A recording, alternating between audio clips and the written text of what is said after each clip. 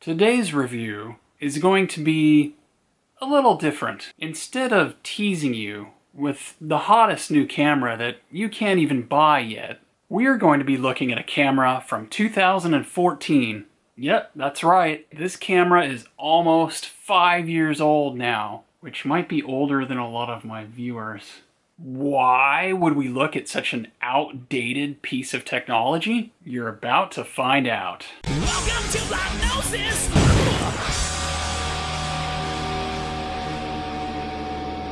So I got the idea for today's topic because I often see people online asking, if I'm going to start vlogging, what camera should I use?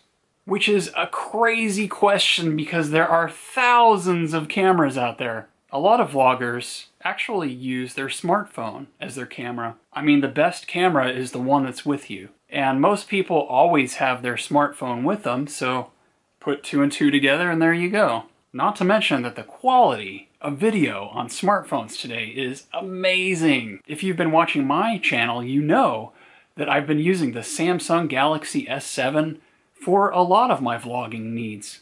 However, there are times when today's smartphone just doesn't do the trick. For example, if you notice, the background in today's video is a little bit out of focus, while I am in perfect focus. This is called depth of field, and you will see a lot of professional movie makers and TV shows use this technique to bring attention to the subject that you're supposed to be watching. But basically, smartphones today have really, really tiny little sensors which make this depth of field effect almost impossible. Not to mention that they usually come with a very wide angle lens which by nature keeps everything in focus. Another detail to consider is low light performance. Now, on a smartphone like the Galaxy S7, I was able to capture a lot of low light scenes. However, you've probably noticed that the image gets really super grainy, and you lose a lot of the color details. With a camera such as this, A, you have that larger sensor to allow more light in and make your video footage look better, and B, you can choose which lens you need based upon the situation. And some of these lenses let in a lot more light than any smartphone lens currently does. Now I know I know I'm throwing a lot of technical stuff at you here, but I'm I'm trying to keep it as easy to understand as possible. If this is all over your head or your eyes are glazing over, I will simplify things for you and tell you to consider using the Sony a5000, which is the camera that is being used to record what you're seeing right now. The other reason why I would recommend taking a look at this camera, well, what if I told you you could pick up this exact camera for about $200? Deals can be found, but the competition on these things is fierce. I suggest entering the name here in the search bar, sorting by time, newly listed, buying format, buy it now, I don't recommend auctions in this case because you will be sniped last minute, and after losing about 10 of these auctions, you will become easily discouraged.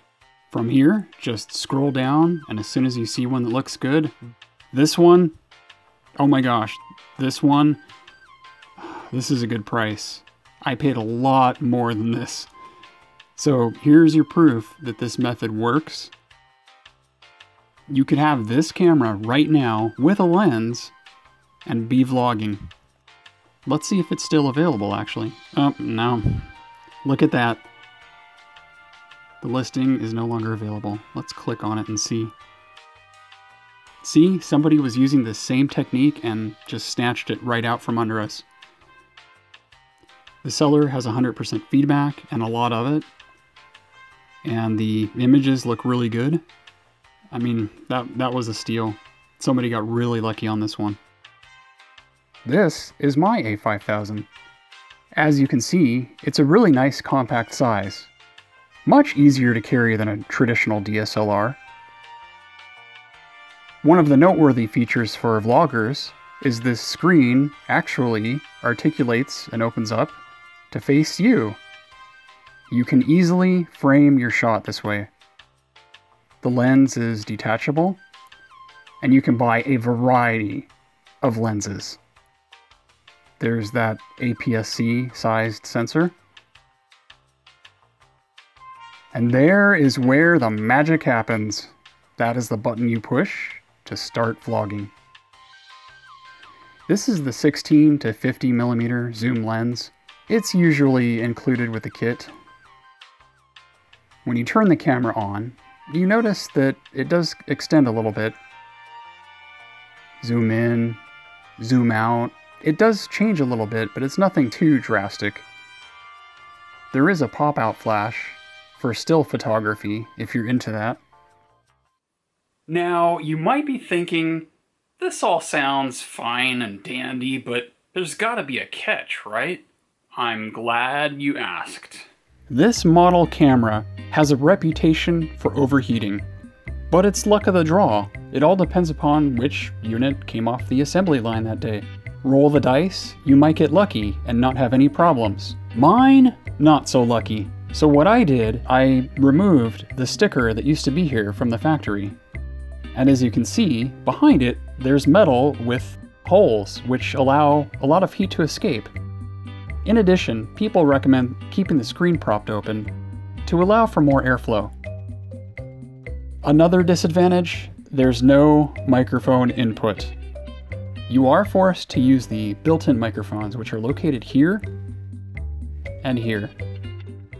Even with these issues, you'd be hard-pressed to find a camera this good at this price point.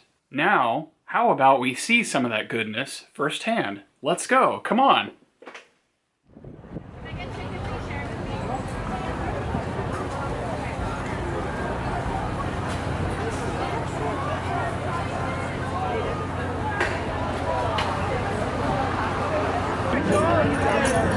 picture, we'll stop and you can take a nice picture. Oh, I'm doing some video. Oh, It's motion pictures. It's, Motion it's the latest in technology. well, we get paid a lot more than One of them, Oh, Them moving picture things. moving picture Never take, it'll shows. take. Yeah, that's a fad. Nah.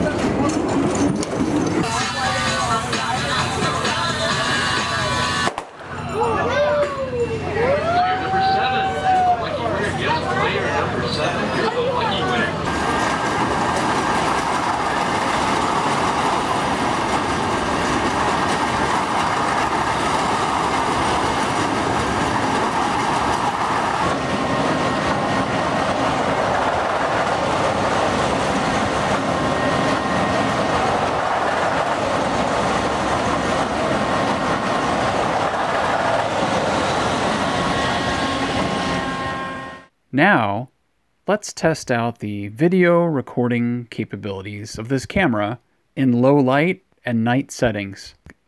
It actually does a lot better than I had expected. By the way, if these scenes look at all familiar, that's because I used them in my zombie dumpster diving episode. If you haven't seen it yet, you gotta check it out. Wow, that's some amazing quality. It's hard to believe that for around $200, you can have video quality like that. What do you think of this camera? Perhaps you own an A5000 or even an A5100, A6000, A6300. What's your personal opinion on these cameras? Please leave a comment below. And if you haven't done so yet, please subscribe to my channel. It allows you to stay in the loop. You can choose to receive a notification every time I release a new video. And it unlocks the comment section so that you can communicate with other YouTubers.